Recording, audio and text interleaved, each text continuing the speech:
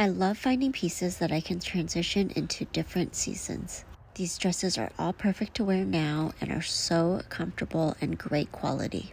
And then all you need to do is add a blazer. This one is one of my favorites from Amazon, and you're ready for fall.